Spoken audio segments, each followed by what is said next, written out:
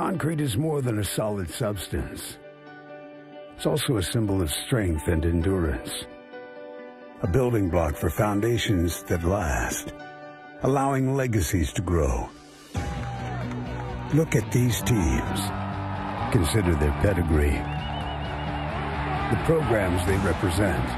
Their history is here, built on a bedrock of pride. They live up to winning traditions, reach the game's highest ground yet again. Through unity of purpose, effort and skill, and motivation that comes from the deepest well. Love for their teammates, their school, and the game. In a stadium that stands on concrete, like the cornerstones of their success. These teams will compete for the NCAA Men's Lacrosse National Championship.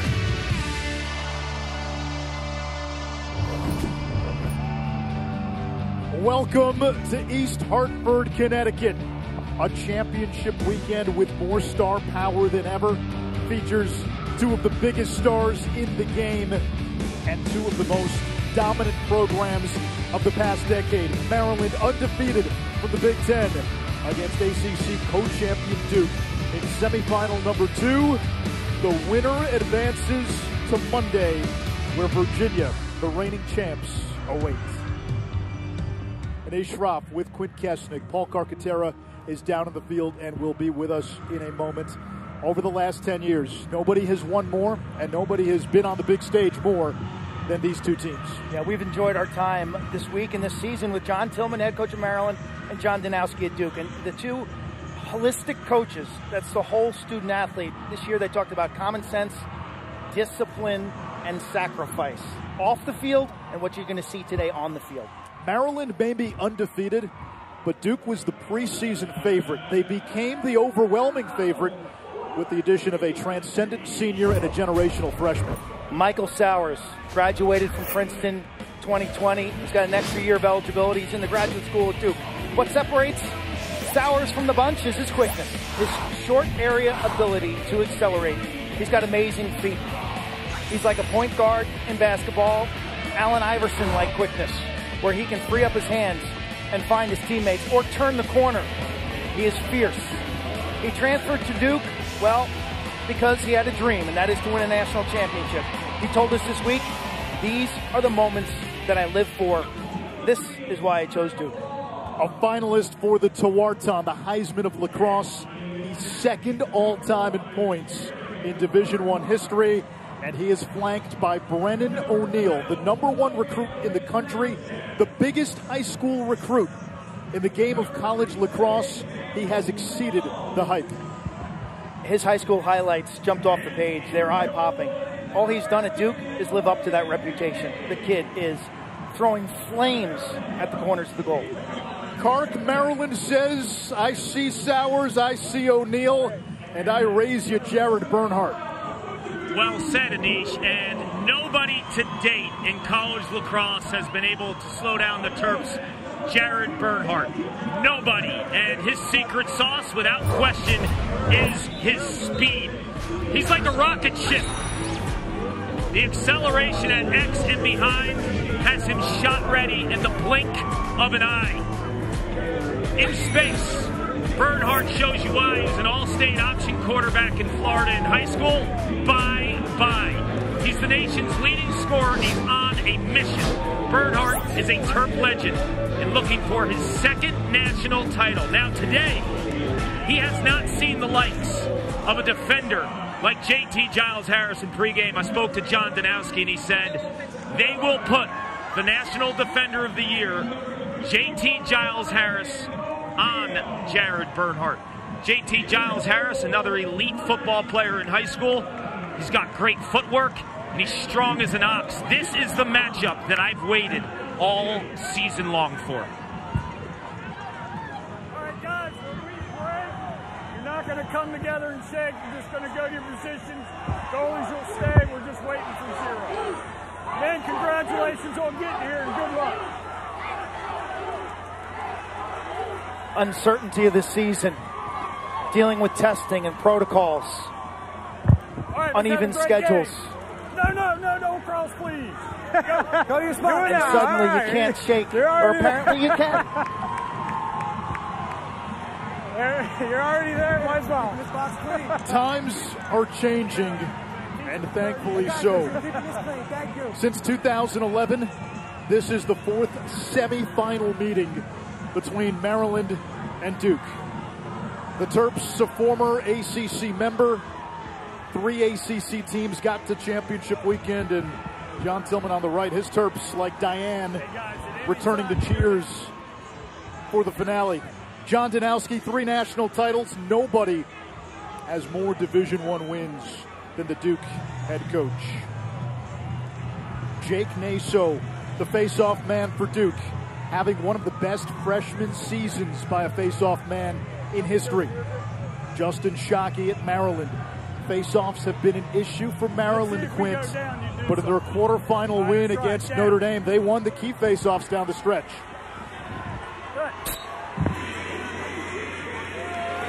Shockey wins the opener for the Terps.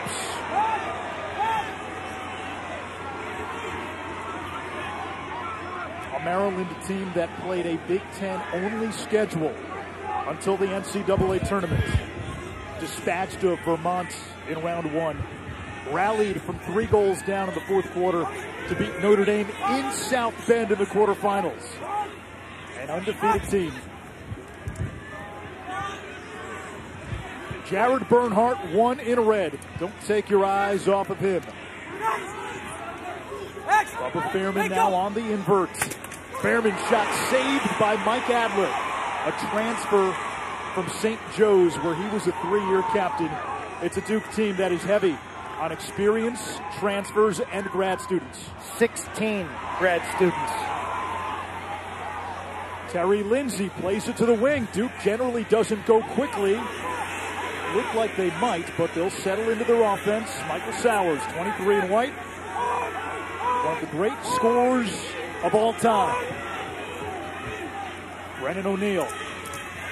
The freshman fighting through a double team, and it's Brett Makar, the All-American, taking it away. But Makar fell near the end line, and it comes back to Duke. Robertson and Sowers converged.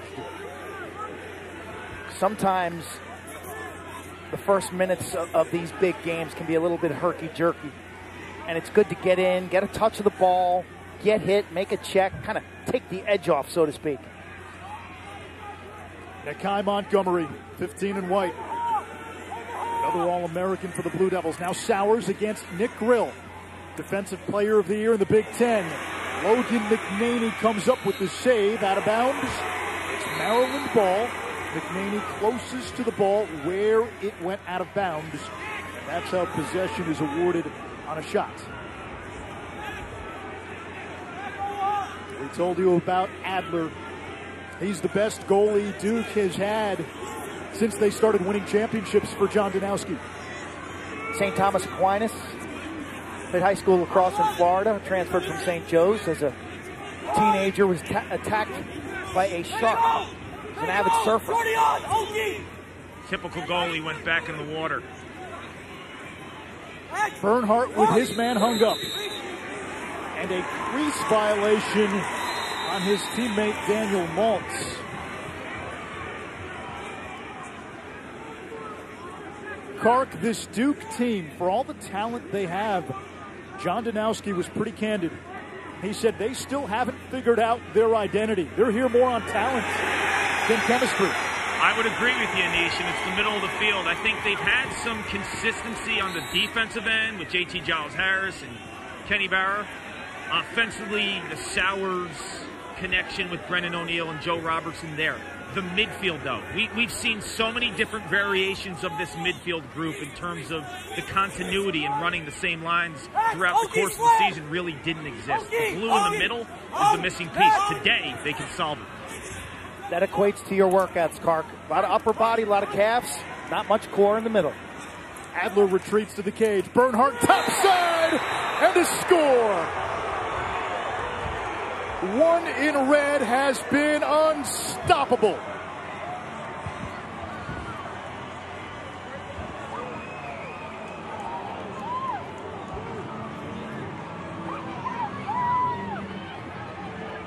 Terps do a terrific job matching feet on the ride. Okay, that is finding bodies basically in, in a zone coverage and covering. JT Giles Harris, he's forced to throw that ball to a man who's covered. It gets away from him at the other end. Unleash the rocket ship. First step, too fast, top side. That's where he's been dominating matchups. Rarely does he have to use his rollback because he gets his feet and his hands free with the burst. That is the rocket ship of Jared Bernhardt. He had six goals in round one, five more in the quarterfinals. Now his 12th goal of this NCAA tournament. Maryland's all-time scoring leader, Shockey.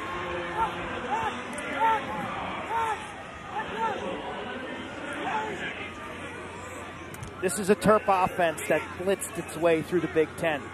A league, quite honestly, that a little subpar defensively, but man, this team can move the ball. Rapid, crisp passing, bodies are moving. Offensive coordinator Bob Benson's got this team playing just a, a beautiful brand of half-field lacrosse. Logan Wisnauskas now. Adler out of the cage. Back pedals in. Wisnauskas against Kenny Brower.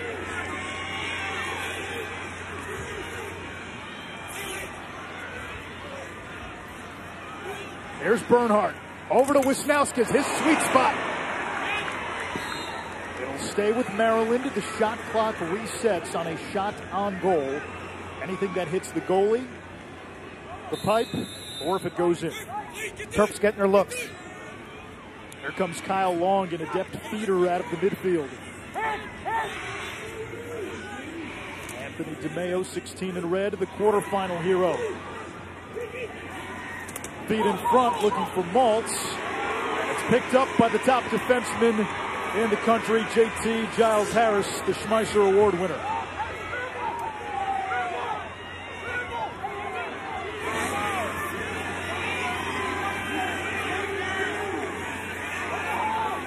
Another matchup within the game, Grill and Sowers. Kark, what are you looking for in that one-on-one?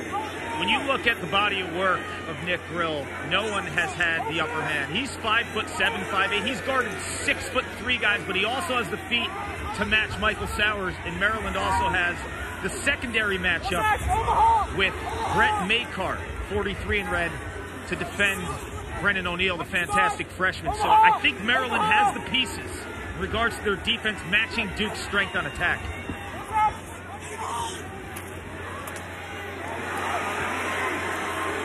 Nice pick defense by Maryland as Duke's using the pick and roll game. Logan McNaney in the cage for Maryland. He has never lost a game as a starter. From Corning, New York, the same head coach, the same hometown as his head coach, John Tillman, is O'Neill with a missile high. thought McNaney was really good in the second half last week at South Bend, Notre Dame. Made some plays outside of the crease, ground ball pickups, and a couple of aggressive outlet passes that really made the difference in that comeback. Sowers at the Lowry pick. Grill the takeaway.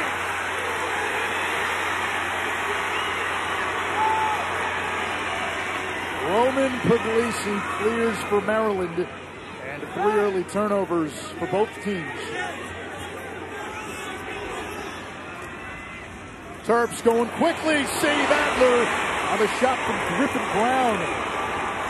The Colgate transfer. A pair of goals in four of his last five games for the Terps. Duke in transition. Dyson Williams with a great look. And missed the mark. He scored a goal in almost every game. That streak ended last week. They both teams a little sketchy in the substitution game.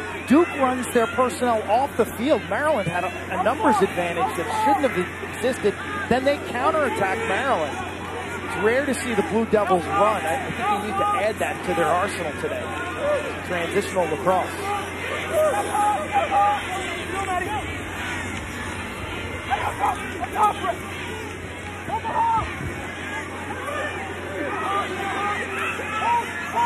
Nakeie Montgomery back to Sowers. Grill had a takeaway last time. Sowers. This is what he does so well. Has to give it up. And the Maryland bench hopping. Watch your side! Real's a good matchup for Sowers. He can match feet with him. Kevin Quigley. Montgomery has the short stick Kaufman. He had three goals against Maryland in the semifinals back in 2018. That was as a freshman. And the Terps get the backup. That's, there's McNaney again, making a play outside of the crease. Not assuming that the Duke player was closer, but actually sprinting to the end line when Sowers and company stood there as spectators. I think they surprised Sowers, right? Because McNaney, when you're a goalie and you can anticipate that shot going wide in one motion, he's tracking the shot but then turning to the end line to get that ball, and Sowers is in disbelief. Now Bernhardt. He's got his man hung up. Adler out of the cage again. He's not afraid to press out. JT Giles Harris stays with Bernhardt. And one of the rare times Jared Bernhardt has been denied top side. Fairman beats Lishow. Skip pass. Kyle Long down the alley. That one hits the pipe.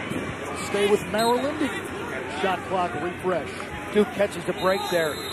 Again, a gorgeous offensive pattern. Ball reversal. Body's always moving. Defensive roles have to change. It's hard to keep up with this group. They get the ball in and out of their sticks. Duke pressing out now.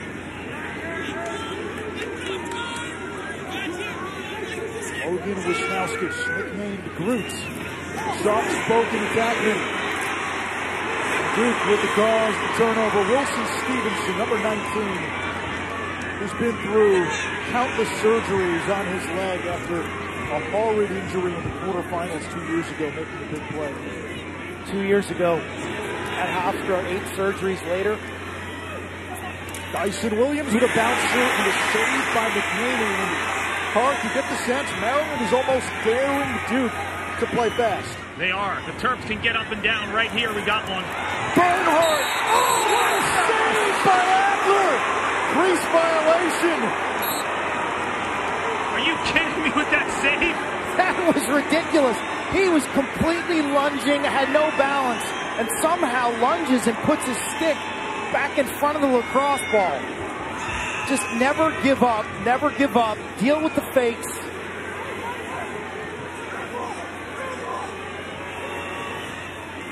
Williams again finds the back of the net.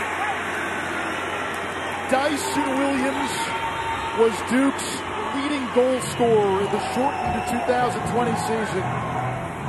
He's had to take a lesser role with the influx of talent. He ties it at one, but it starts with Adler. Point blank range. Kyle Long pings the post. Blue Devils forks up to catch a break. Watch this. Doesn't get any better than that. Unbelievable. Adler gives him the juice. Williams does what he does so well. Closes the deal. We got another one in East Hartford, all tied up.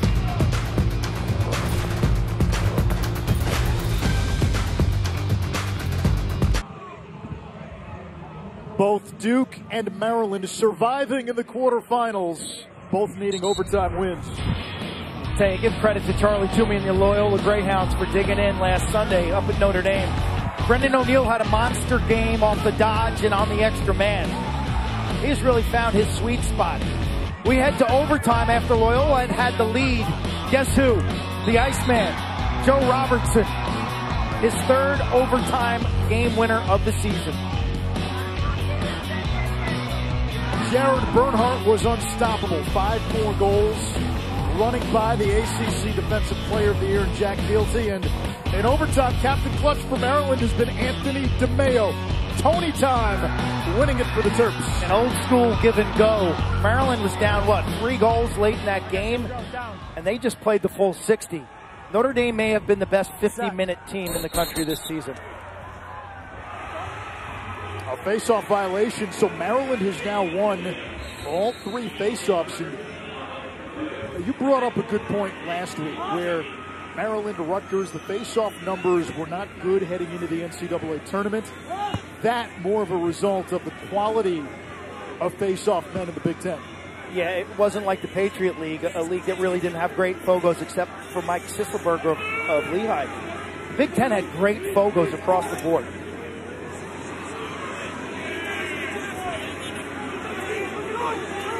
Bernhardt again. Gets around JT Giles Harris, picked up by Lindsey on the switch. This is dangerous for Duke. Bernhardt plays it back to DeMeo. Look at the way the Terps move the ball. That's how it hit the turf. It's Fairman.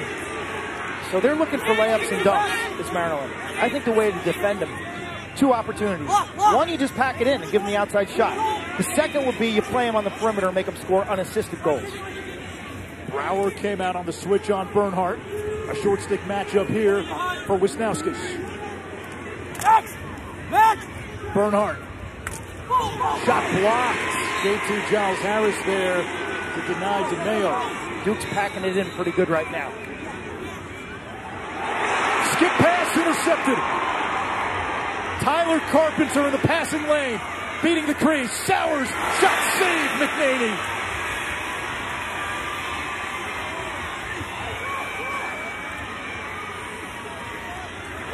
The Terps come away with it. It's Kyle Long the other way. Long has it knocked loose. Ooh, man. Bodies flying. Two Blue Devils good. down. That's. JT Giles Harris slow to get up. That's not good. Th- This is a National Defensive Player of the Year limping noticeably. the Maryland player hit a Duke player who then hit JT Giles Harris right around the knee. There's the hit. And teammates collide. Clean hit. Ooh, he's lucky the left knee hyperextends a bit. Frank Marinello will come in for JT Giles Harris. Anish, that is the case with Marinello, but they'll put Kenny Brower on Jared Bernhardt. Brower's defended a lot of teams opposing number ones. He's a cover guy, an elite defender in himself, 43 in white. So he, he's used to those kind of matchups when he's on Bernhardt. They'll support, but they have faith in him. Brower that time defending Holden, the Hobart transfer. Bernhardt's got Marinello, draws the slide, the pass tipped. Maryland keeps it on the offensive half. It was a tip pass. Duke's really packing it in defensively. Daring the outside shot. Look how tight their splits are.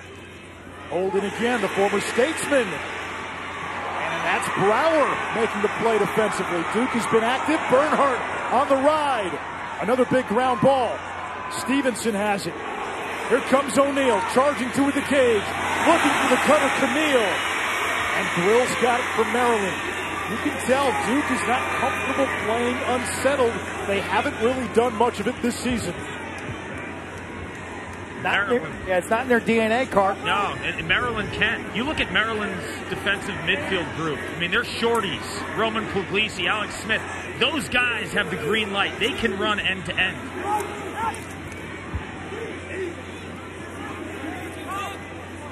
Bubba Fairman out of Sandy, Utah. How long? Up. Wisnauskas and DeMeo play catch. Bernhardt, he's got two. 65 goals now for Jared Bernhardt.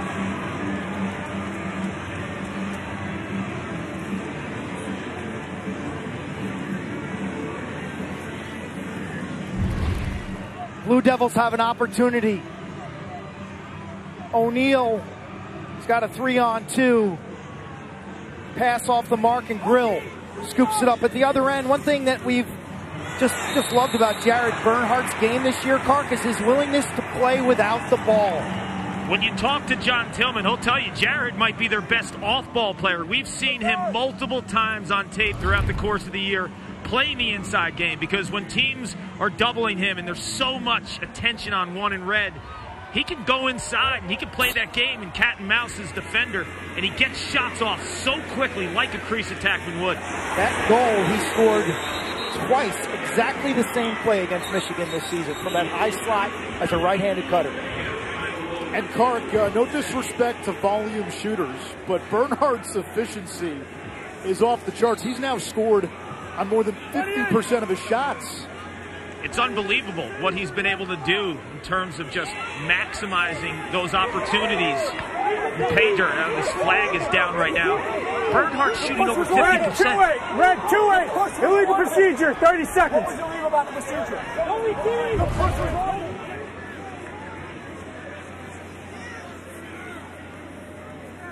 That's not a foul right there. Not sure why that was called a foul. Brian, Brian. No flag. No flag. No flag. No flag. Official's mistake. No flag. We're all even. So the flag is waved off,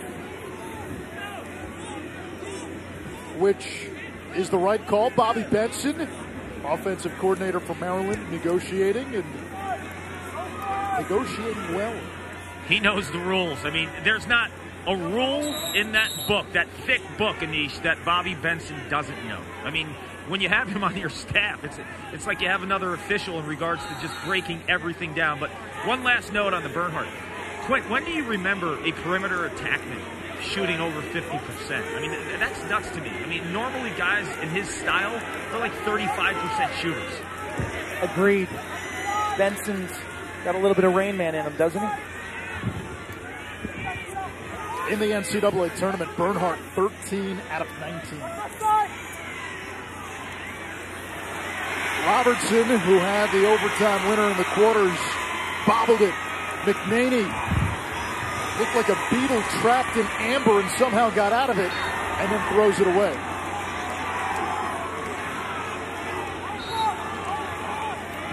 Duke's got to find some rhythm in their half field set.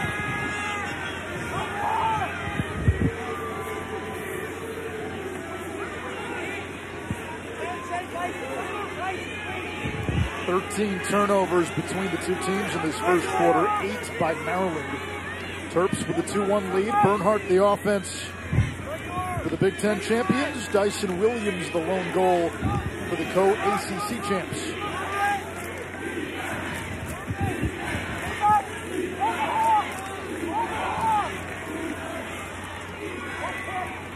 Sowers milks the final seconds of quarter number one. Gets the pick from Williams. Grill matching feet.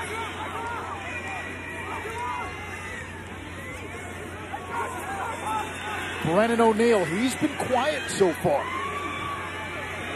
O'Neill ran into a double. That one hit the official. And time runs out in quarter number one. The Maryland bench fired up. Jared Bernhardt continues to amaze. A human cheat code. Two more goals for the Tewaaraton favorite. 2-1 Terrapins after one. The NCAA Men's Lacrosse Championships is brought to you by PlayStation Plus.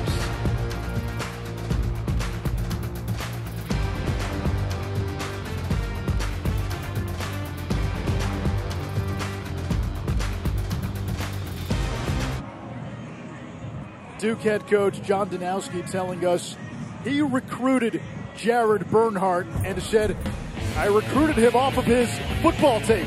It was an option quarterback from Orlando, Florida.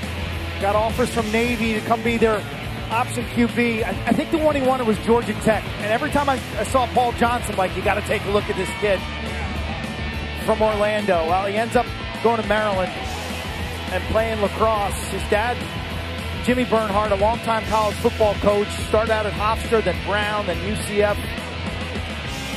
Dad passing away in 2019, and, and Jared still has the dream to play college football.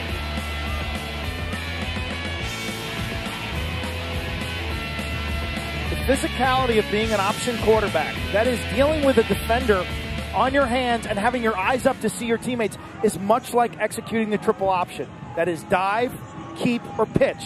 Ryan Boyle, Tommy Schreiber, Doug Shanahan, Jared Bernhardt, lacrosse legends, Good. or all high school Hi, option gentlemen. quarterbacks. I like Down, that. Dive, Down. keep, or pitch option principles. Set. That was John Danowski's assessment when we said, hey, how do you defend Bernhardt? He said it has to be a team effort. It's not about matchups. And then he added, what we're trying to do is defend a football player playing lacrosse. Maryland turns it over. JT Giles Harris took a spill in that first quarter, back in there for Duke. You know, it's interesting. You watch the Maryland offense, it's like hot potato. And when I spoke to John Danowski right before the game, he mentioned the ball can't get sticky, can't die in sticks. Like Michael Sowers has to make those quicker decisions. Is it my time to go, or is it my time to move the rock? I think Maryland's been masterful at that at times throughout the course of the year. It's been them in North Carolina and everyone else in terms of sharing. Duke, at times, the ball sticks too much. Who can win a matchup, Duke, from the per- uh, Clark from the perimeter? If you're Duke, who can win a Duke matchup other than Sowers? I think Nakeie has to be that guy. 15 in white. First team All American, Nakeie Montgomery, but he's been quiet the last four or five games. Quigley turned away by Puglise, the short stick. Montgomery, great feed. McNaney, the denial. Four saves by Logan McNaney.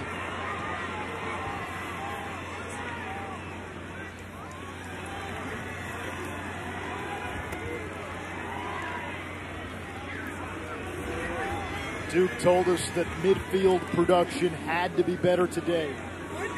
Did not get much from that unit against Loyola. A game in which John Danowski said his team played tight. Worst offensive performance of the season, according to Dino.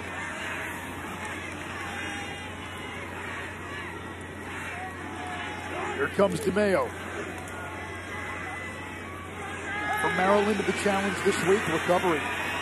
John Tillman said it took his team three, four days to recover after the showdown with Notre Dame. Good look here by DeMeo. Tony time. There's the ball movement. That's hot potato, lacrosse's version. Everyone knows there's one more pass to be had. And Anthony DeMeo, game winning goal in overtime against Notre Dame out South Bend on the road. Dug deep. This time sets his feet and finds that far pipe on Adler. The exclamation point is an eight yard shot with no defender in your face. The ISO of Adler shows he has no chance. The reflex is just not that quick. But it all starts with a double team drawn on the far wing that gets the defense in motion. Maryland spacing perfect. 10 yard crisp passes right on the money. In and out of sticks. Easy layup. A 4-1 face-off advantage for Maryland. And we get movement against the Terps. Duke ball.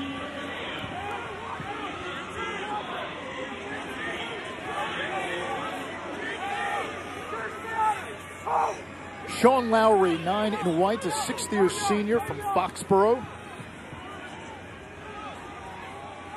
At our production meeting last night, we had a, uh, a strong debate on the spelling of Foxborough, Massachusetts. Ends in an O or a O-U-G-H. According to Jess, our content associate, who's done a fantastic job.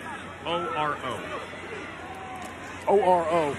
O-R-O-U-G-H. Brennan O'Neill on the doorstep cashes in.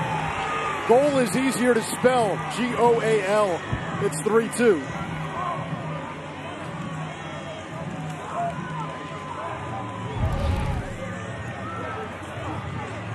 Tillman looking at the autopsy report from this goal. The damage report says loose ball on the ground, over pursued by a bunch of red jerseys. O'Neill is a horse. He's a freshman. 6'2 or 6'3. Look at those legs.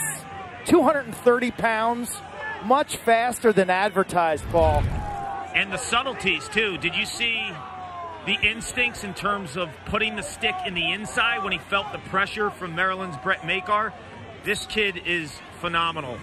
Watch his high school highlights in terms of his creativity. And, you know, a lot of people have compared him to a John Grant Jr. The way he's built and the way he moves, he's got flashes of Gary Gayton. And I'm not saying he's the next Gary Gayton, who's the best player to ever play the game, but he's got flashes of that in him.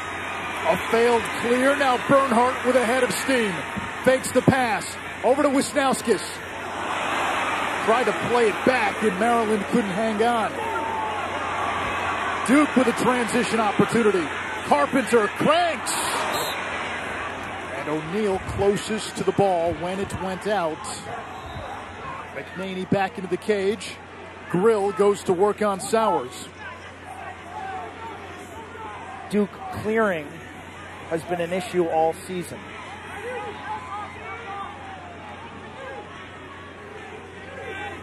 Kark, you brought it up with the midfield. You're still seeing uh, Duke trying to figure out the best midfield combination.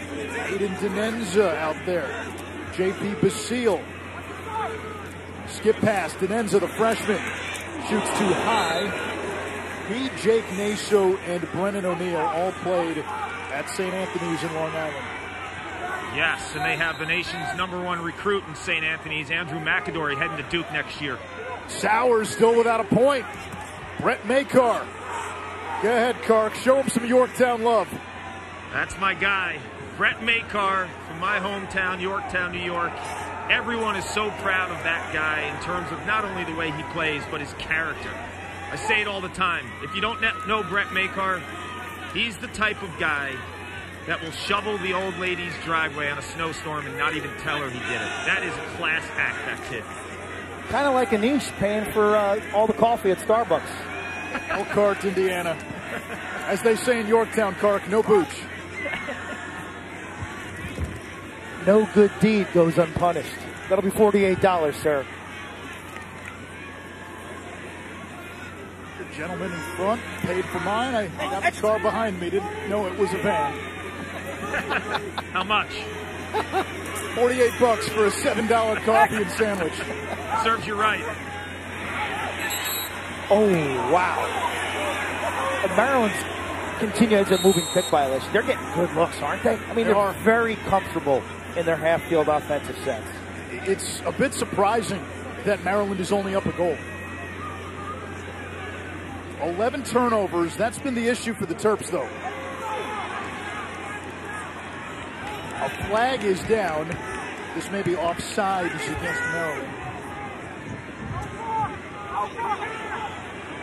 Montgomery with a running start.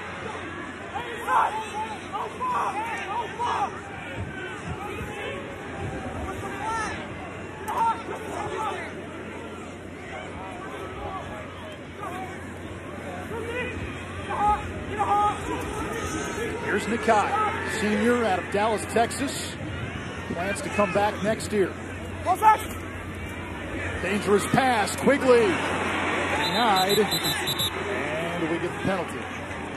McNaney's super sharp today. Lefty goalie. Likes his hard rock music. Actually shares music with head coach John Tillman. Red, four, offsides, 30 seconds. Motley Crue, Jane's Addiction, Stone Temple Pilots, the Stones, Metallica. Tillman kind of educating him to uh, some of the classics from the 80s. That's on brand with Tillman and Logan McNaney from Tillman's hometown, Corning, New York. They love rock and roll up there. Duke has been lights out with the man up of late. Six for its last eight. Looking for the equalizer. Montgomery, the crank, and McNaney. He's seeing it. He is on it, man, and he's patient, Quint. When you watch him just sitting on that shot, man, there's there's no antsy feet. He's very still.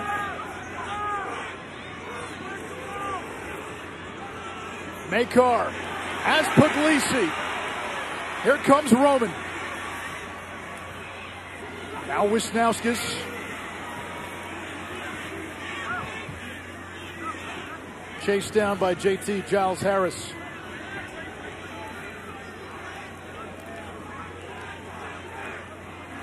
NBA playoffs first round continues with Sixers Wizards, Jazz Grizzlies. All that tonight on ESPN.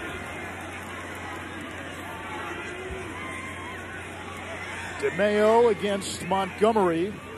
He's played a little defense John Danowski okay with it. Adler comes up with a save. Kick save and a mute. His fourth. McNaney's got seven at the other end.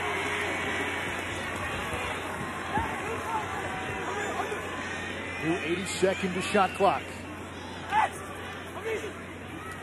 Bernhardt. A hat trick for Bernhardt. He's got three of the four Maryland goals. And he now has more goals in an NCAA tournament than any other Terrapin in school history. 14 goals in this tournament, one more than the 13 by Mark Douglas back in 1991. Be the best. It's been a shooting clinic, a shooting gallery. They're getting all the looks that they want. He's done it off the dodge, Quinn. He's done it in the inside game. And on his third of the half, he shows you some plant rip. Make it count.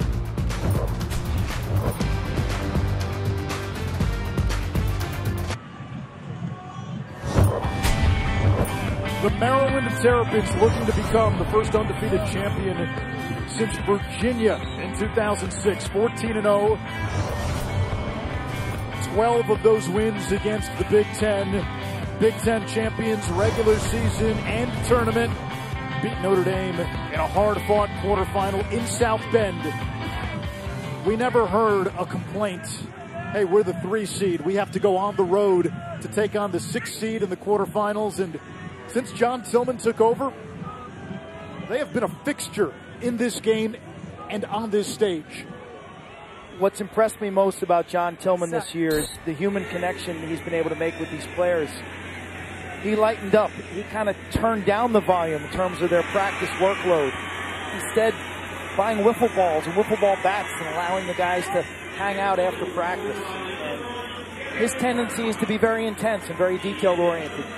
He had to adapt, and he did that. Now, we did see him coach yesterday a walkthrough practice that may have been one of the most impressive we've seen in our time covering championship weekend. Incredibly detailed. There's Kyle Long, saved by Adler. But I think he understands the push-pull that goes along with, hey, if we're going to practice that hard, that detail, that specific, I also need to go easy on my guys.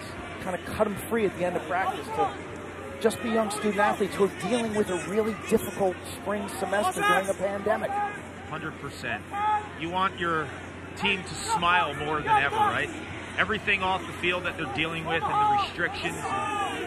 Tillman is one of those guys, preparation wise, it's hard to find anyone who's more detail oriented, but he also understands the journey of these athletes and, and making them happy and having them peak in a moment like this in May.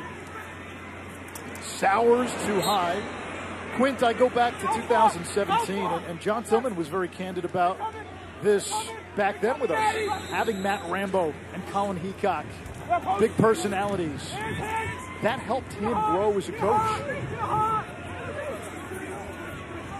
His biggest challenge with this group.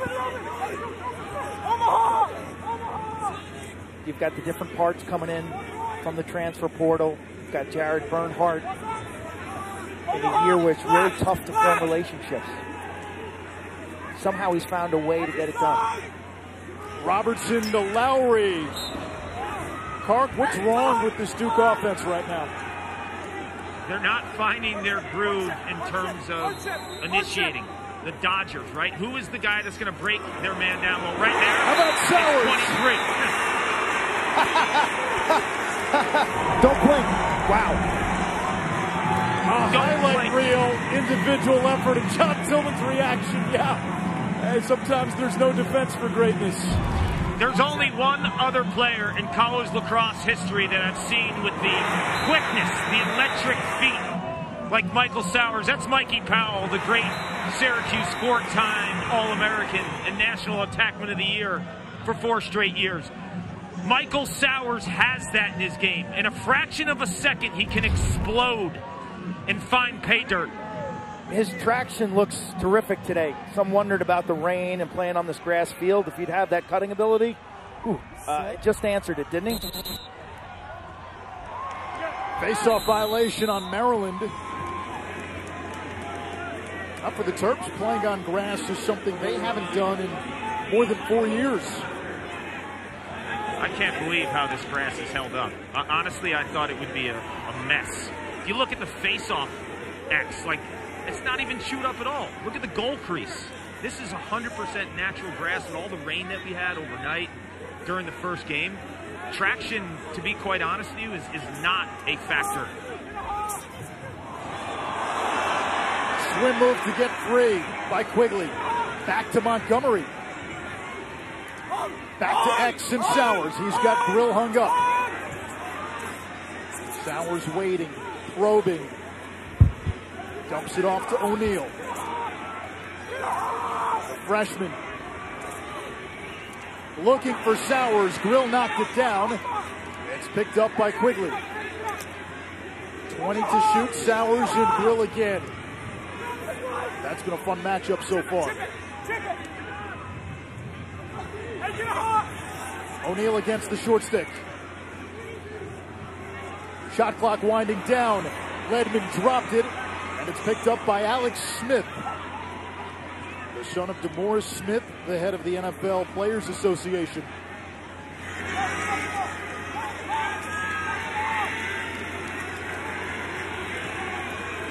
Alex Smith has guys like Ray Lewis and Ed Reed on speed dial. Need a pep talk? Ray Lewis is a good one to get one from.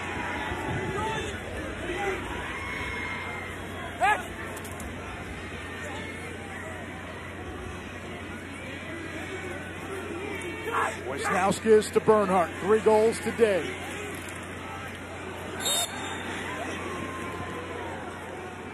Bernhardt, the all-time leading scorer at Maryland, goals and points.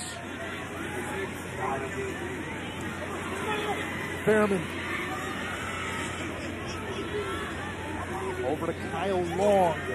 DeMeo has a cutting Wisnauskas. You can set that to music.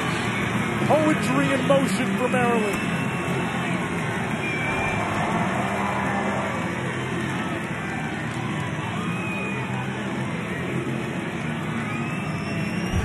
His offense has been humming all season. Long, down the wing, was Wisnauskas, who had cut left-handed across the middle of the formation, continues his run behind the net and then in front. The defender's allowed in the crease, but for some reason decides to trail Wisnauskas, who then has a step. The ball stays hot. They are so unselfish. You see the big lefty from Sykesville via Boys Latin School, via Syracuse as well. Yeah, you can't teach that off-ball awareness. I've said it before, too. He's one of those guys, like, he's not fast, but he always gets a step on someone. He reminds me of of Dirk Nowitzki. When I watched Dirk Nowitzki play basketball for all those years, he gets his hands free. He doesn't run by anyone. It's just it's the little subtleties in what he does off ball.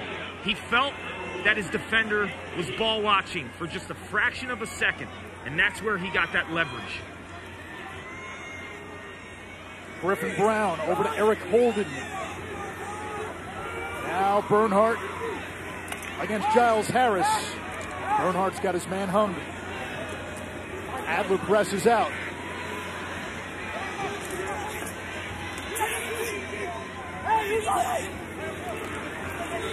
They've got the matchup.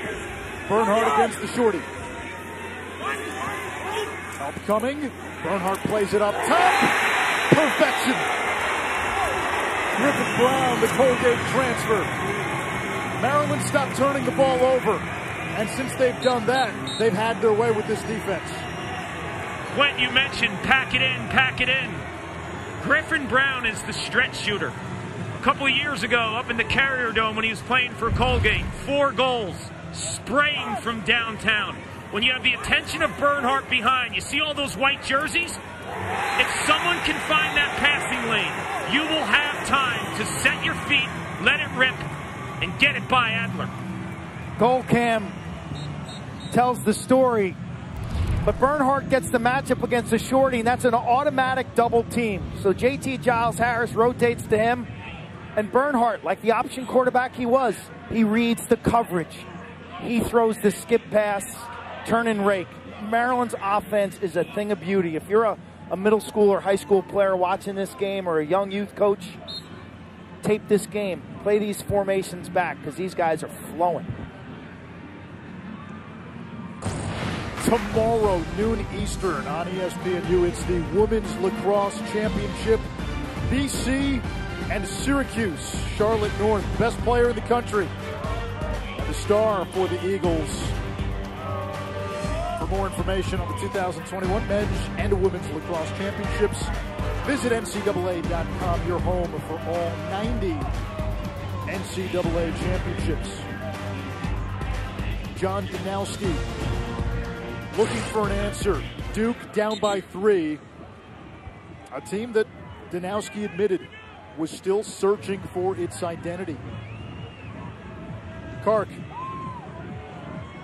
Searching for an identity. They had pieces to the puzzle, right? But then you bring in Michael Sowers, a generational talent who's used to having the ball on his stick for so long. So, how do you incorporate him into the game?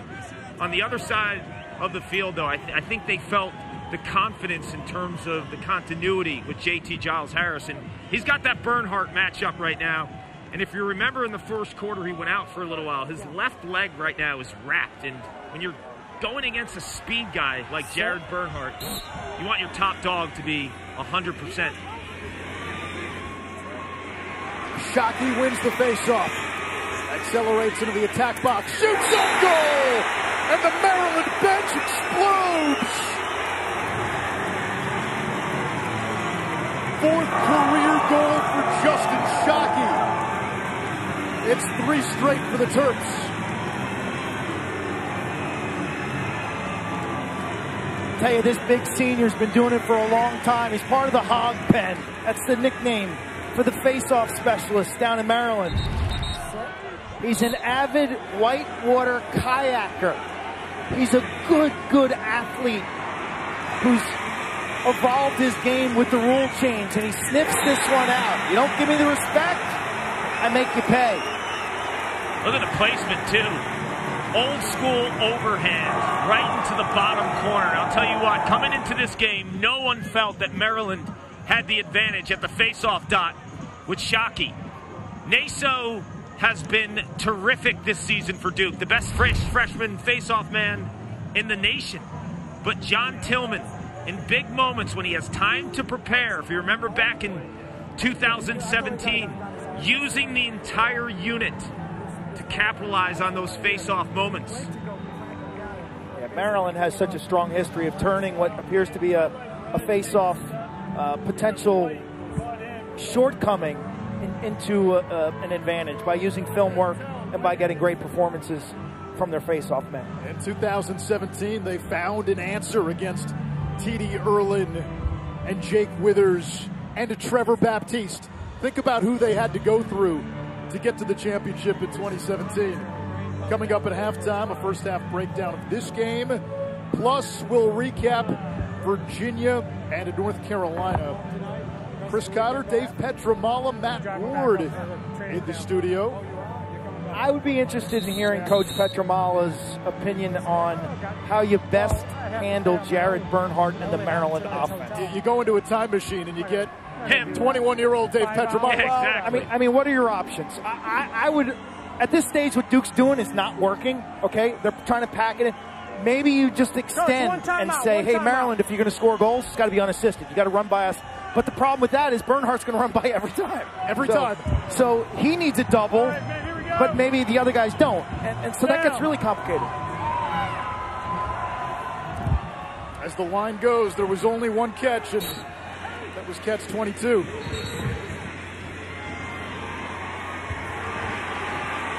Maryland has it again. Three goals in less than a minute for the Terps. They've got their largest lead at four. Virginia awaits the winner on Championship Monday.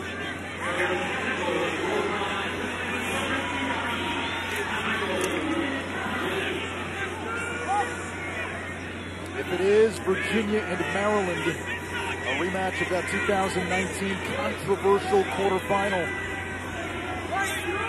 A Virginia shot that hit the post was counted as a goal. Behrman. Wisnauskas' shot looked like it hit somebody in the helmet. Virginia and Maryland also met the 2011 national championship. Bernhardt gets the pick. Feeding the crease. Slam dunk. Bubba Fairman. All Terrapins. Everyone talks about Bernhardt. His dodging ability. The two feeds we've seen, Quint, in this second quarter are next level and they're very different. The prior feed that he had on the Griffin Brown goal went right through the heart of the Duke defense. That one, he just felt the slide coming from inside. His head was up in a perfect spot feed. Offensive coordinator Bob Benson is delivering a gem in this game. They send Bernhardt a pick, it changes the matchup. Duke's got a double team. Meanwhile, inside, it's a scissors cut. You got two guys going in opposite directions. Dunk City.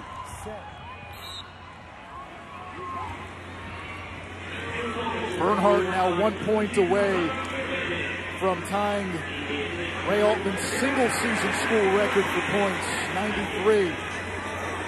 He's got the career mark for points, for goals. He's got the single season record for goals this year, 66 now.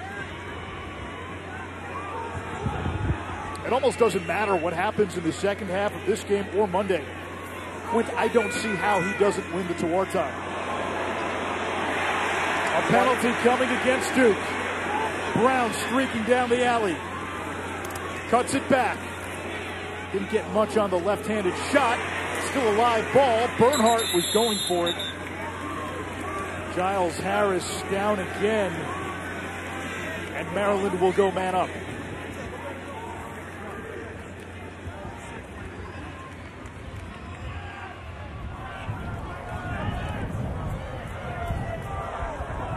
White, 2-6. Illegal body check. One minute.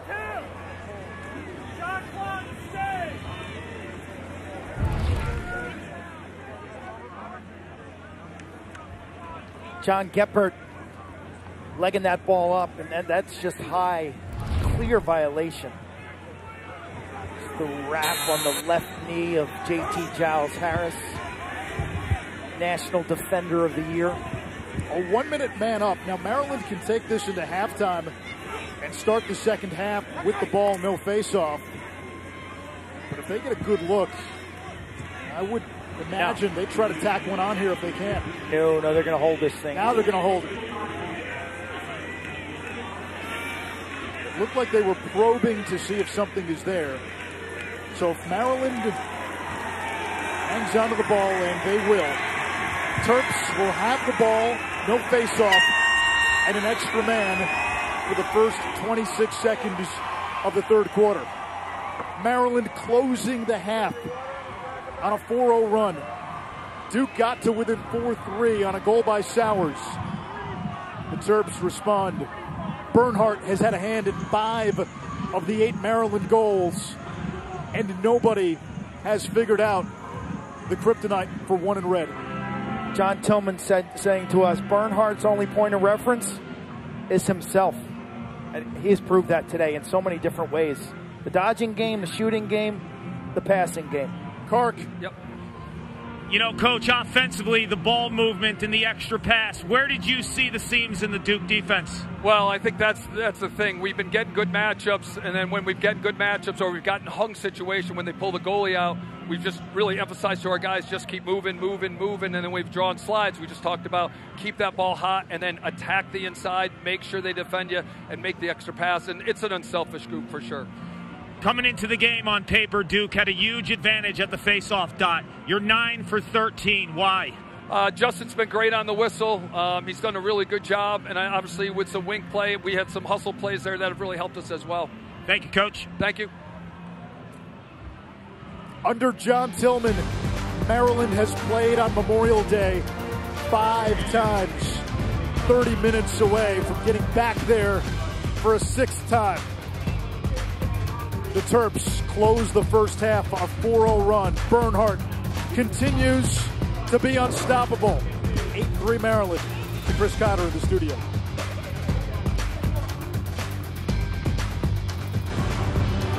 Thirty minutes in the books, 30 minutes to play, and Maryland with a five-goal lead on Duke as we're about ready for the start of the third quarter. Anish Shroff, Quint Kessenich, Paul Carcaterra down on the field. Duke has 30 minutes to figure out its identity. 30 minutes and 14 games in, no one has figured out how to stop Jared Bernhardt.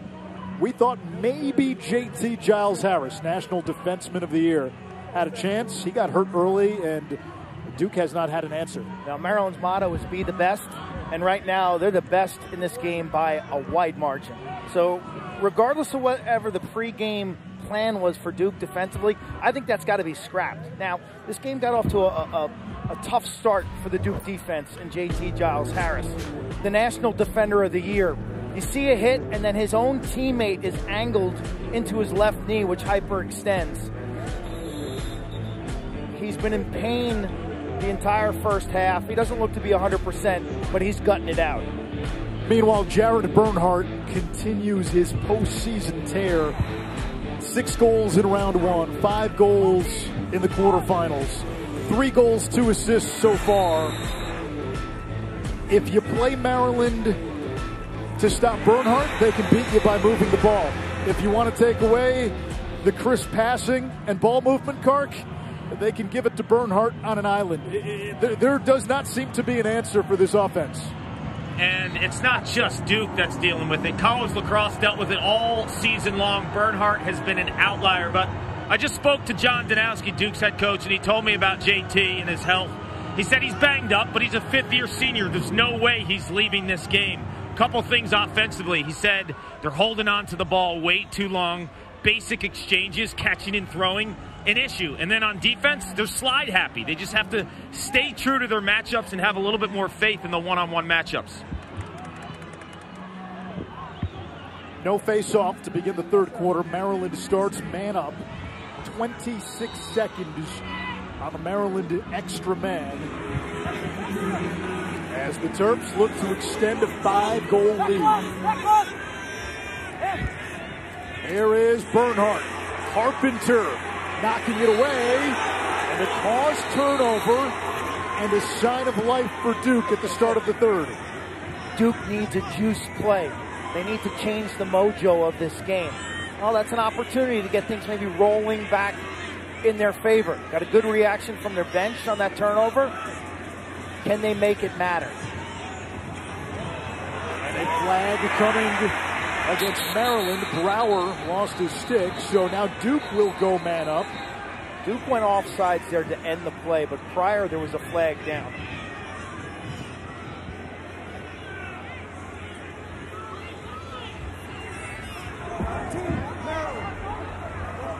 Number 13 red, offside, 30. They catch Griffin Brown, and the Duke man up unit that is six for its last nine, including today, will have a chance. That was an inter- interesting sequence. Maryland had 13 on the field, while three of them were coaches. Coach Tillman was way out of the coaching box. Bob Benson was on the field. Even Jesse Bernhardt, the normal, normally calm and sedated defensive coordinator, was uh, onto the field to argue that call. Brennan O'Neill, nine extra man goals. 34 in whites has been the guy. I'd like to start with Sowers and then skip it to O'Neill.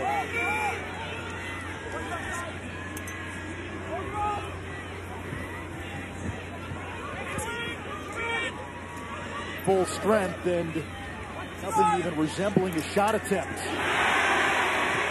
Robertson from the outside and an easy save. Not much in line of patterns there, Quint. The extra man. A lot of times you'll see a, a change of formation and some play from behind where Sowers would pick a side, but but that extra man unit right there looks stagnant.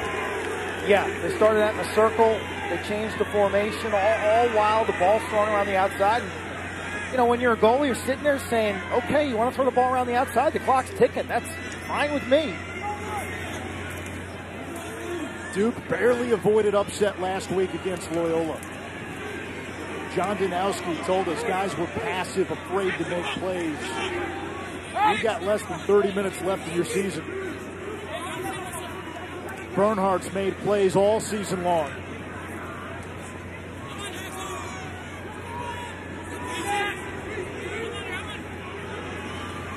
DeMeo, fifth year senior from San Diego. Maryland's win last week at Notre Dame, and he's one of the most intense quarterfinal games I can remember. Kyle Long to Bernhardt, save Adler, rebound to DeMeo, and Maryland with a new lead. And in our conversation with John Tillman this week, Kark, he talked about the heat, the recovery it would need to get off that effort. I think they caught a big break today with the cool temperatures. They did, and they were lucky. They flew back right after that game and got a couple days rest. The temperatures are cool here, but what's impressive about this unit too on offense right now, as much attention Bernhardt gets, Kyle Long, 23 in red, is a fantastic playmaker off the dodge. Carpenter picks up Bernhardt. Merriman's pass to Wisnauskas. Brower all over Logan Wisnauskas.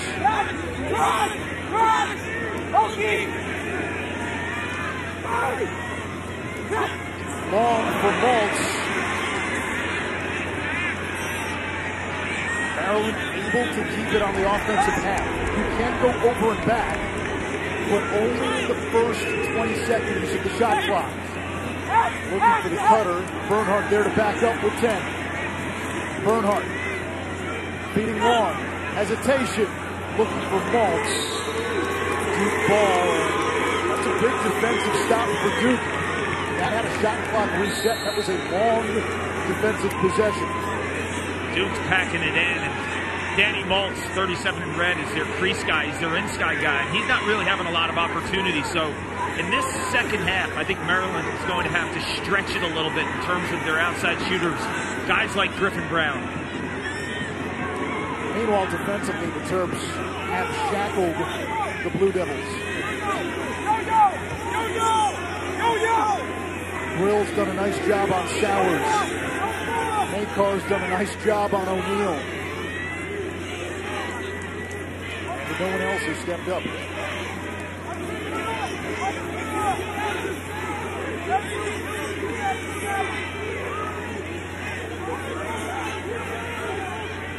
Puglise with Lowry, stride for stride. O'Neill did not have an angle. He's a lefty. Left hand free. McNaney to save, and that's been the other factor for Maryland. McNaney's playing his best game of the tourney. Puglise the other way! It started with the save, and then Roman Puglise in transition for his 13th career goal.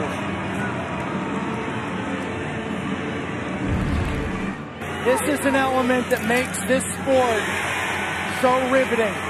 McNaney with a clean stop. Maryland breaks out. Puglise sniffs it. They disrespect him. He's a defensive midfielder. Parting of the Red Sea. Wow. Maryland has Roman Puglise. Duke does not have that type of player in the middle of the field from the short stick defensive midi position that can make a play like that. Dan O'Connell at the faceoff backs. Duke trying everything. The Holy Cross transfer. A loose ball push on Duke. Maryland has it back. Now they'll say it's Duke ball. Maryland's goalie, Logan McNaney's done a wonderful job on ground balls and outlet passing late in the season. A bad shot gets punished with a, a beautiful lob pass to an open target, like a quarterback hit, hitting a post pattern. Now, we've seen him score a goal too. Makar the takeaway. Ledman the trail check. Picks it up. Plays it back to Sowers. Sure jumps off of Sowers, who's now defended by Grill as Duke moves it to the near side. Joe Robertson's been quiet. In White had the game winner in overtime in the quarters.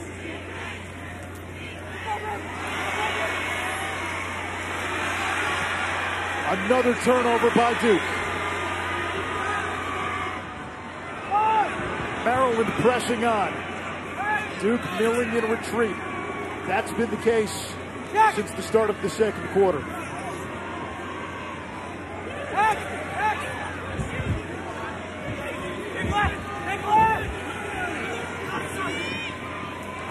Not close. Bernhardt dominating play. Bernhardt against Giles Harris. Good defense there.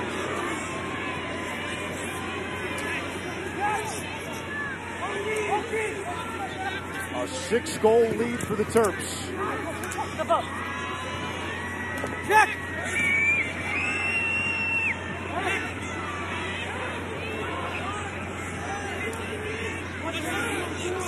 X!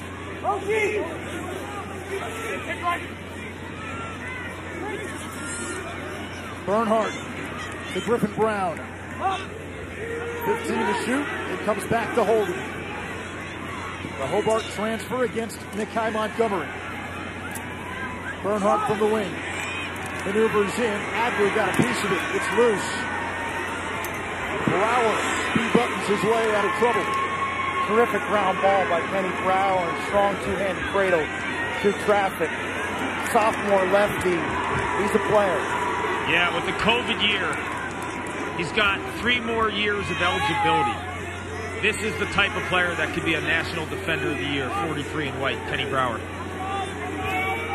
Park Duke only has two shots in the last 12 minutes. Shots. It's incredible. When I spoke to John Danowski, he mentioned his defense needs to time their slides properly. Maryland's defense is timing their slides and their help and support perfectly.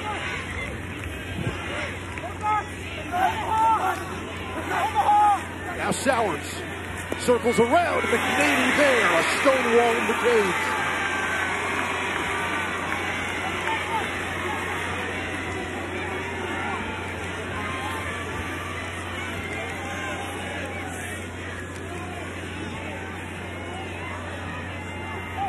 A Duke offense that averages more than 15 goals, held to three. Maryland, the number two scoring offense in the country. Only behind North Carolina. The Heels lost to Virginia earlier today in the first semifinal. The top four scoring offenses all advanced to championship weekend this year. The most star-studded field we've seen. We're getting closer to narrowing it to two. Virginia and the winner of this game.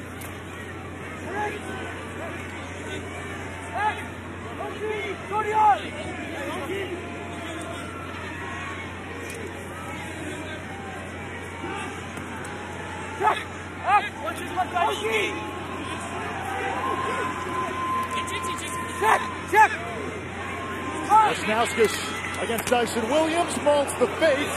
DeMeo over to Long in the shot clock violation. Hey, that's fine.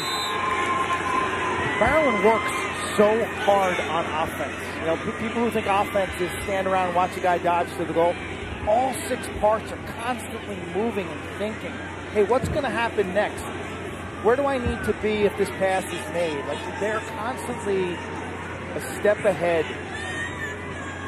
I would agree with you, Quint. When I look at their offense, there's a similar approach to North Carolina this season regards to just the pieces of the puzzle. The five guys without the ball work just as hard as the guy with the ball. And when you can embody that type of characteristic in your offense, everyone's going to eat. Everyone's going to share the ball. It's not about who's scoring the goals. Everyone gets the touches. Ledman missed the cage. Stay with Duke. Robertson closest to the ball. Went out. Joe Robertson honorable mention All-American. Now Brennan O'Neill, the ACC's Freshman of the Year.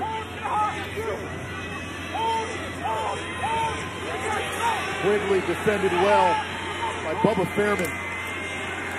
Montgomery turned away by Makar. Shot clock at seven. There's Montgomery. Shot clock at three. Another Duke possession that comes up empty. Slides and help. That's what's defined this Maryland defense. Jesse Bernhardt, the defensive coordinator, a Team USA player, and a star in the rising in terms of the coaching profession.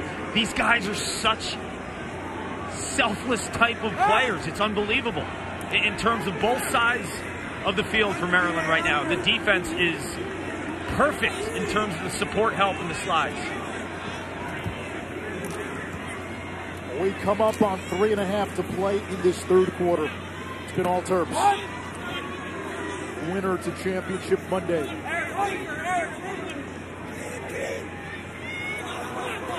Holden to the wing, top shelf. Logan Wisnauskas, Kark. You can't leave him open there. That's his sweet spot. They're packing it in. The Duke defense. Daring a Terp to stretch shoot. Well, if you've watched Logan Wisnauskas long enough, the day he stepped on campus at Maryland, the high wing lefty shooter, if you give him this kind of time, he will pick apart an opposing goalie. Look at the placement on the righty goalie. Top left.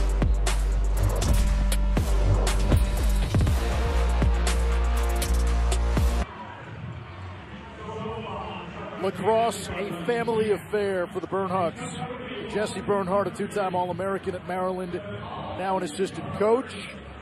Older brother Jake, an All-American at Maryland, now an assistant at Vermont. And Jared, the youngest of three, the best player in the country this season, and almost the surefire Tewaaraton favorite now. When I spoke to Jared at, at practice yesterday, I said, Is your mom coming, Catherine? He said, Yeah, she'll be here. So Catherine's here. I said, What about Jake, who's an assistant at Vermont? He goes, No, Jake's not coming Saturday. I'm like, he goes, We haven't talked actually. I'm like, What do you mean? When you pointed at him after after you scored that goal against Vermont, he was upset? He goes, No, he's at PLL training camp. So Jake is uh, a Okay. midfielder, a pro midfielder. Now, one of the great brotherly moments of round one, Jared Bernhardt scoring the goal against Vermont and pointing to his brother Jake. Little taunt on the sideline.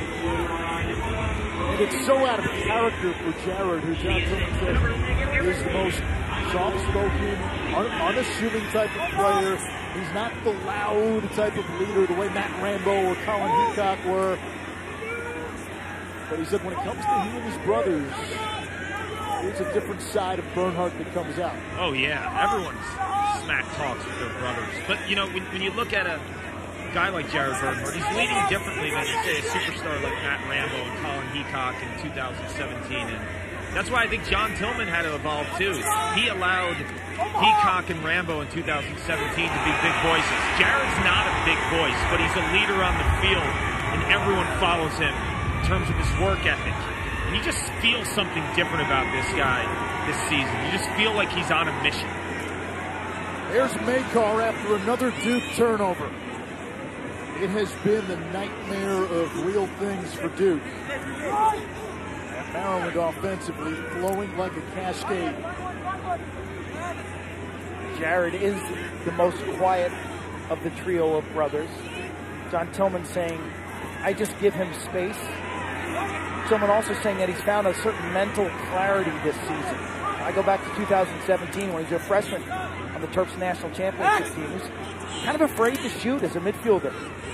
Then in 18, played behind the goal. Ah! Made his money feeding Connor Kelly up top. When his dad got sick in 2019 and passed away in the summer of cancer, Jim Bernhardt, who's ah! uh, just widely respected and loved in lacrosse and football coaching circles. That was a setback for Jared in late in 2019 and then into 2020. And then Quint not playing this fall, I think he was able to hit the reset button, right? He was chasing college football a lot like Dox Aitken from Virginia was, and when Ferris State didn't have the season. He would have played there in the fall, but because of COVID, stayed down in Florida, trained in a different kind of energy and purpose when he returned to College Park. Spent time with his mom, Catherine. So when he came back, there was a certain hunger. Paul, as you said, man on a mission, and that's that's what it's been. What's his future hold? We don't know. He's a third round pick in the PLL draft in terms of lacrosse. Ferris State being option quarterbacks on the table. I think if I'm Mike, Lox- Mike Locksley, the head coach of Maryland football, I invite him out. I, I just haven't seen an athlete like Jared Bernhardt play lacrosse in, I don't know, a decade or two.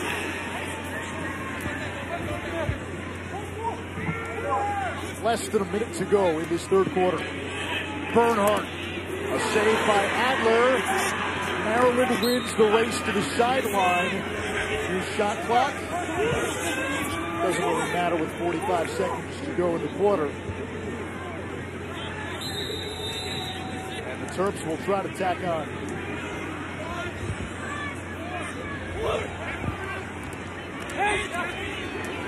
Six unanswered for Maryland. This one knocked down. Adler tried to recover it. It trickles in.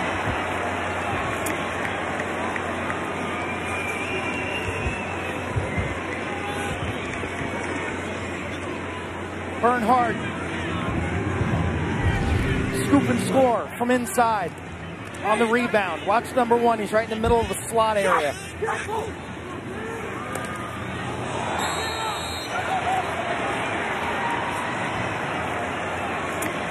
Pick it up.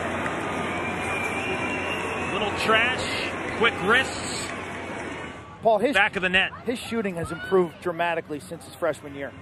His off-ball play too. I mean, in 2017 when he was a secondary option with Heacock and Rambo, he still was a guy that could go to the goal, but his shooting in terms of just finding the seams and we've seen range from him this year as well. 52% heading into this game. A perimeter player like him, if you're checking in around 35%, you're doing something well. What? 93 points on the season. That ties Ray Altman's single season school record. The Big Ten Offensive Player of the Year has been a force that nobody's been able to slow down. Seven straight goals. Dyson Williams ends the long scoring drought for Duke. It's 11 to 4 the Blue Devils went more than 20 minutes without a goal. The one player for Duke that I think you can consistently force feed and jam it inside is Dyson Williams. He was an attackman as a freshman last year. He was Duke's leading scorer before the season was cut short. Moved to midfield. Nakeie Montgomery's vision that has been the biggest growth pattern in 15 and White's game. But Dyson Williams, you see him catching that across his face and in one motion. It's the catch and finish. Why don't they feed him more inside? Underutilized this year. He is sincere and humble as Dyson Williams. Last year in eight games played, 25 goals. He's number three recruit. For whatever, for whatever reason, offensive chemistry hasn't really broke his way this year for Duke. Duke had all the pieces when the season started. Assembly required, though. Whatever they've built, Maryland has taken a blowtorch to it through three quarters. The Terps 15 minutes away from playing for the national championship.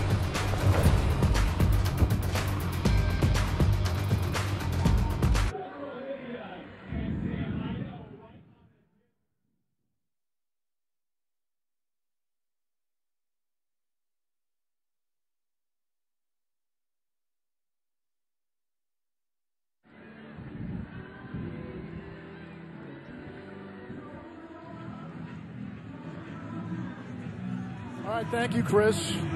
By the way, have you seen Petro's mustache? No. Solid, man. Really? Solid.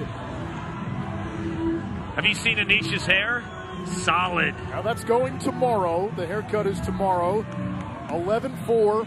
Maryland on top of Duke. Fourth quarter underway. Terps have controlled the faceoff X. O'Connell, the Holy Cross transfer, only took seven faceoffs in conference play, gets Duke the ball. They're down by seven. Kark, you saw Duke in desperation mode in a comeback win against Notre Dame. They were down 4 5 in the fourth quarter, and they almost threw their playbook out the window and gave the ball to Michael Sowers and said, Drive, we don't care how you get us there.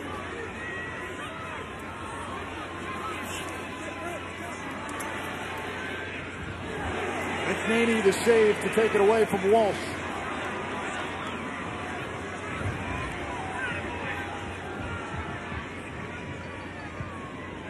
Duke's got to extend now on the perimeter. They got to pick the tempo of this game up. I don't think they can afford to sit back and, and play it straight up as they have been. So you got to get out on the perimeter, overplay the ball, force Maryland to go to the rack. Because time is not on your side if, if you're the Blue Devils. That is kicking the Hornets' nest. The way Maryland can move the ball. Duke has had trouble timing its slides. Maryland has picked them apart with precision passing.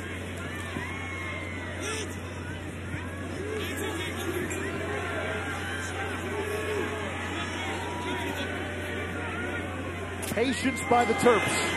Flag coming. Wisnauskas. No goal. And Maryland goes man up.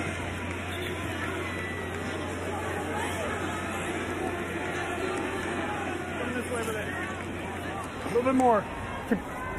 Right there. You have white, three, five, back. slash, personal foul for one minute. Yours back a little bit.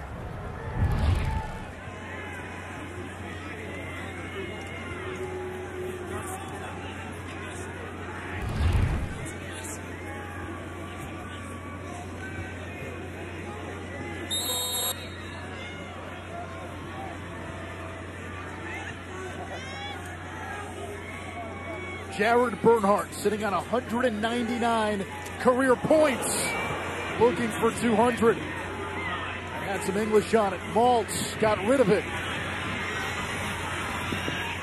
Maryland keeps it in bounds. Fairman and Adler, the goalie. Duke comes away with it. Chopping wood over there. And Maryland gets it back. Still 30 seconds on the man up. And Bernhardt. One more point, not only 200, it would make Bernhardt the single season points leader, one better than Ray Altman. Here is Bernhardt.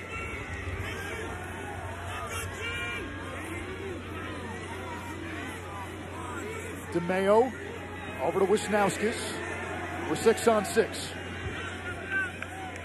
Maltz, the bouncer, save Adler, loose in front, and vacuumed by the St. Joe's transfer. Adler's, he's played a strong game, hasn't he, Paul? He he has. He's been the least of their worries. What concerns me, though, when you're down 11 4, you need to strike in transition, and that's something I haven't seen Duke do a ton. They put up 14 goals per game, but it's been in the half field set from a majority of, of what they've done offensively when they've hit on big number games. It's been Michael Sowers, it's been Brennan O'Neill. We haven't seen defense to offense quick strikes. Now here's a little new wrinkle today. Sowers initiating from up top. Owen Caputo's shot not there. Grill hits the deck, chasing the grounder. It's shoveled ahead. That's a Ma- Makar. Maryland's strength. Ground balls in their defensive zone.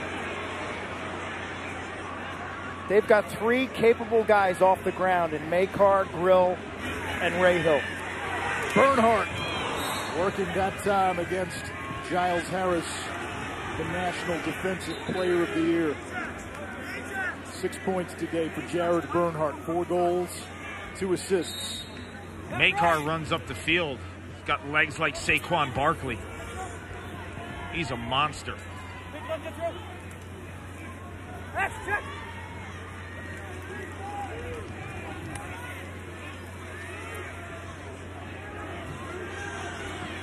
Maryland will play slow here.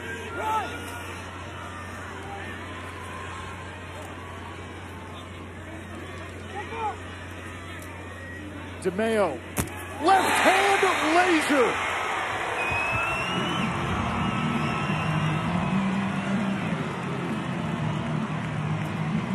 Step away underneath. Watch the drop step, Quint. DeMeo catches it. Feels the pressure top side. He's a lefty, so he's not going to get that sweep. So what do you do? Drop step and sting it. Look at this.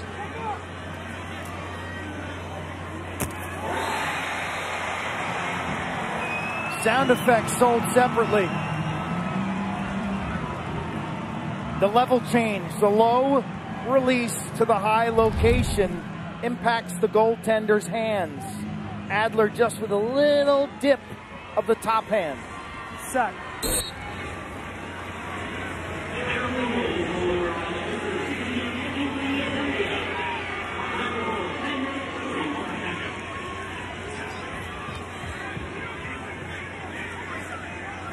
Kark to what you said earlier.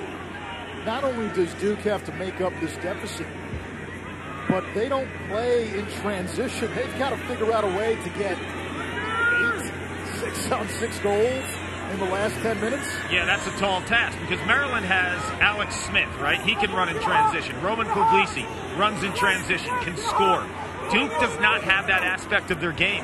And let me tell you something, too. This is a Duke team that's averaged 14 goals. We talk about Maryland's selfless offense, and I mentioned their selfless defense. What does selfless defense mean? Well, it's sliding and understanding and having the confidence in your team to play together that your guy might score, right? So when you slide early, you're worried about your matchup. Is he going to score? Maryland doesn't care about that. They slide at the right time because it's the right move. A lot of defenders sometimes worry about their guys, right? I don't want my guy to score. Maryland believes in their system. And Duke offensively has been silenced. Michael Sowers, only one goal. Brennan O'Neill, only one goal.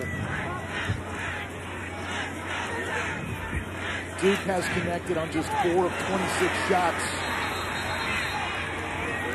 A timeout by Maryland and a good one by John Tillman. Not looking to cede even a sliver of momentum to John Danowski's Blue Devils. The Terps, nine minutes and change away from a date with Virginia.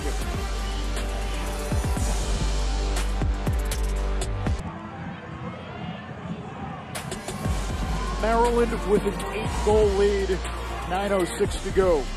Virginia advanced earlier today to Monday's championship, taking out the top seed, UNC. Virginia and Maryland played in a memorable and somewhat controversial quarterfinal. Somewhat? 2019. Somewhat. As you said, one of the worst calls you've seen covering the sport on this stage. The worst. Virginia came back from five down in the fourth quarter to beat Maryland that year. Aided by a goal call on a shot that hit the, pope, uh, hit the pipe. And ricocheted 40 yards out towards midfield. Maryland and Virginia as we get a shot clock violation. Also played in that 2011 championship. John Tillman's first season with the Terps. Colin Briggs, the X factor in that game. Didn't play in Saturday. Didn't play Saturday for the Cavaliers. Had fresh legs on a, a really hot national championship game. There's so many years, uh, I think the way the semifinals are played impact the finals. McNaney turns another away. That is how much gas is left in the tank. This year, I mean, it's, it's almost Arctic-like conditions today. Temperatures aren't even 50.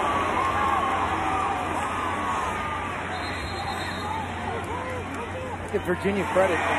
They've changed their entire yearly plan for Championship Monday. Sunday is a work day at the University of Virginia lacrosse program.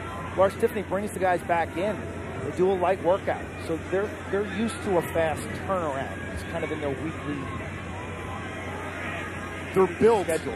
for this weekend, and a lot of folks wonder: Is there an advantage to playing in the early semifinal?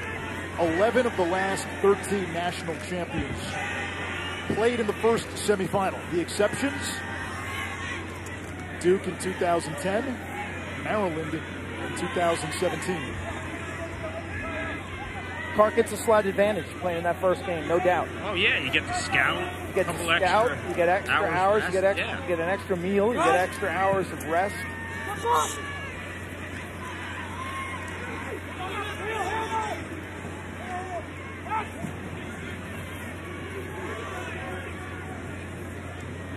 Oliver, the freshman. Yeah, there's Malever. Anish, I think he'll be the guy behind when Bernhardt leaves. Malever will run the offense at X. Holden left-handed. The former Hobart statesman came to Maryland for two reasons. To play in the NCAA tournament and to win a national title. They've been a staple in May. Always consistent under John Tillman. His ability to recruit. Guys like Eric Malever learn the system, learn from a great like Jared Bernhardt. And Holden catches that ball, feels the pressure, and in one motion spins. Maryland's been shooting lights out. And Holden's got the left-handed rip. He almost scored 100 goals at Hobart. One-year master's program. Was banged up early in the year and then came back and he was kind of pressing to try to get back in the lineup. So Coach Tillman put him on the scout team. And he took scout team hey. reps where he pretended he was Connor Kirst for a couple Rutgers games. And, and that's where he rebuilt his confidence. Yeah, you got to swallow your pride. But when you're a guy like Holden and you're playing at Hobart, the ball's in your stick the majority of the time, right? You're running the offense and and you, you can kind of exhaust all your options before you give it up. That's not how Maryland plays. So he had to get acclimated to Bobby Benson's offense, and the way John Tillman does things, and the buy-in to be able to respond after getting demoted to the scout team tells you a lot about this kid.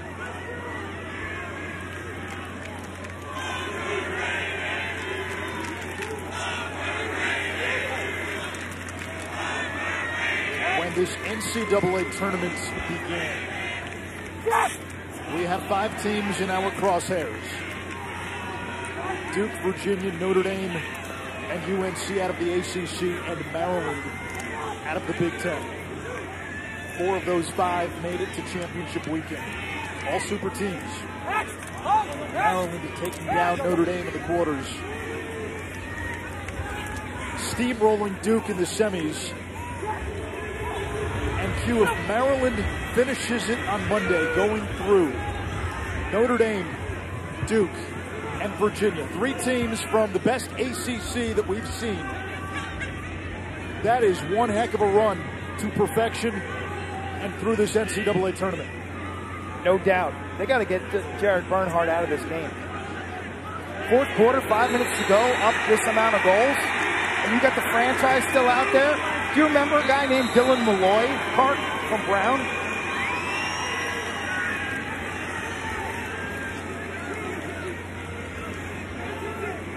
Failure to advance by Duke. Could not get it across midfield. NCAA lacrosse coverage continues tomorrow. The women's championship, noon Eastern, BC and Syracuse. We get to see Charlotte North, the best player in the country, the BC Star. For more information on the 2021 men's and women's lacrosse championships, visit NCAA.com, your home for all 90 NCAA championships. It'll be a first-time champion. Either way. Jared Bernhardt, the punctuation. The best player in the country.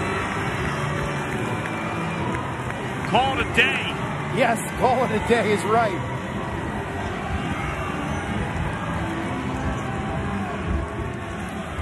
Two hundred career goals. He sets the single season points record. He has rewritten the Maryland record book. He has had at least five goals in every NCAA tournament game this year. Dealing with pressure, able to run away from it. And he nailed the dismount.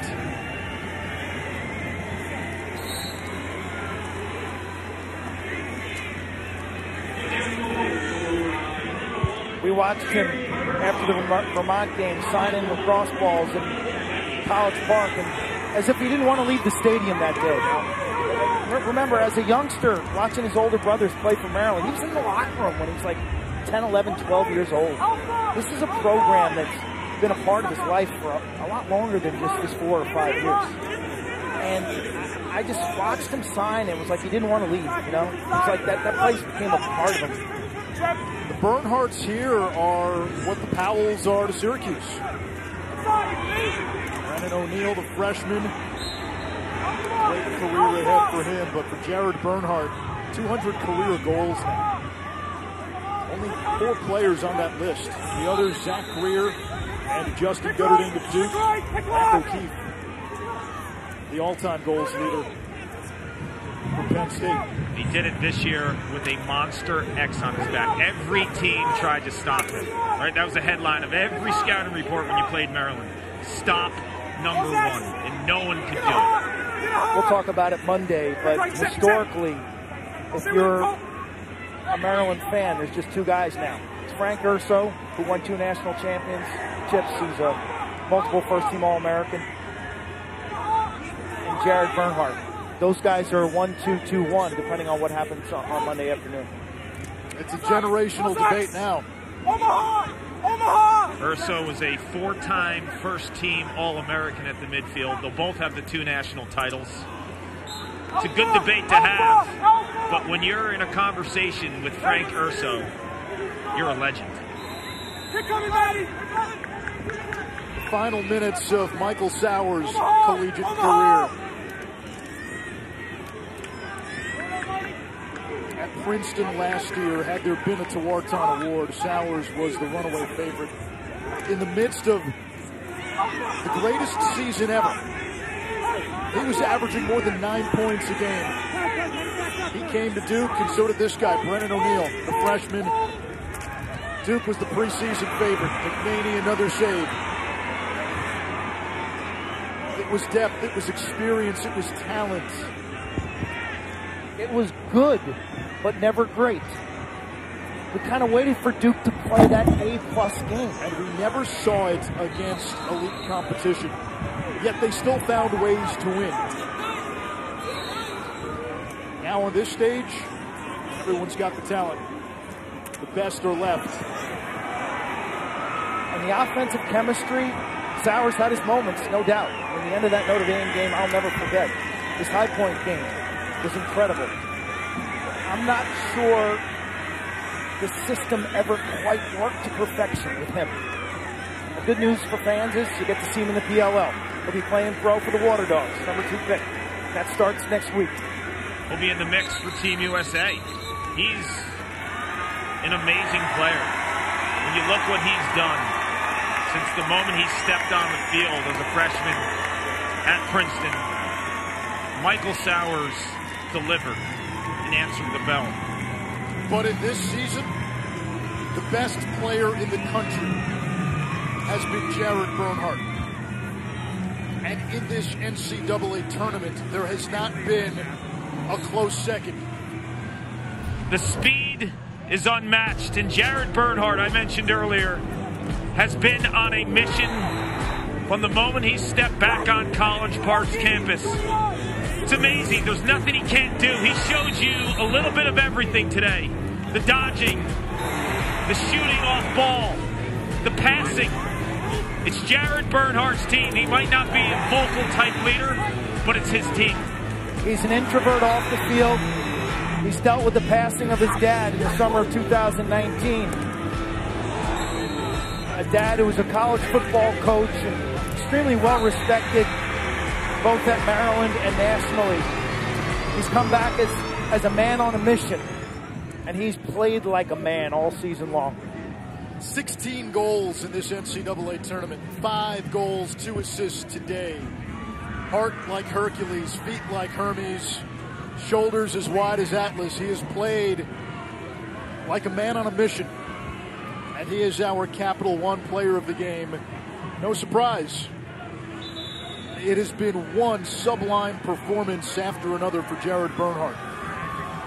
And you saw late in the season when the stakes were raised, really that Big Ten semi against Michigan, where eight, eight goals or so, eight goals, two assists, and it was almost a ruthless, untouched. I can do what I want, and I know it, and you can't stop me. Yeah, like I got more. I'm like, oh, you got more? There's more? This is pretty good. You got more? Yeah, I got more. Like I've been kind of coasting along here during the regular season. Now there's more. We'll get more on Monday. The matchup with Virginia's very long, rangy defense will be fascinating. Virginia will try to do what nobody's done this season. That's stop Bernhardt. This is a Cavaliers team, though, Kark, that is playing its best ball late in the season. Give me your first glance at Monday's title game. Two things that separate Virginia in terms of the turnaround, right? Because we had a lot of questions and moments in 2021. One was their off ball defense. They'll have to play the way they have been down the stretch. They fine tuned ways to play together, to communicate. Maryland moves the ball at hyperspeed. That's one thing that they'll need to do against Jared Bernhardt and the Terps. The other thing, the middle of the field. A question mark for Virginia and their short stick D middies. Could they get transition? Could they get loose balls? Today they did. But Maryland has those guys as well with Roman Puglise and Alex Smith. So I think there's going to be tremendous unit matchups in this game. One more for Sowers. That's just bookkeeping. 14 to 5. A two-time Tewaaraton finalist. One of the most prolific scores in the history of the game. Tough ending. He's shown humility, respect. He's always been super polite with us, and the kid is a worker. It's been fun to watch him play. Good news is now with pro lacrosse, we get to see him take take his exploits to the pro game where, where he, he will light up the scoreboard and be super fun to watch.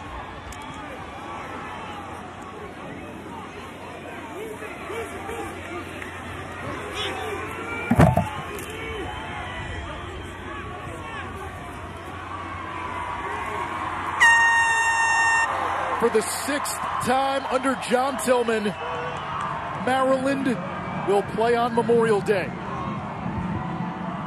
A dismantling and demolition of the team everyone thought was the team when the season began. Duke. The Terps remain unbeaten, playing for history, looking to make this one of the great runs through the NCAA tournament. They took down Notre Dame.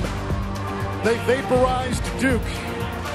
They get the reigning champion Virginia on Monday. And it was Virginia that ended Maryland's season the last time the Terps were in the NCAA tournament in 2019. Final score from East Hartford Maryland 14, Duke 5. It'll be the Terps and the Cavaliers on Championship Monday. Quint Kark and I will be with you then.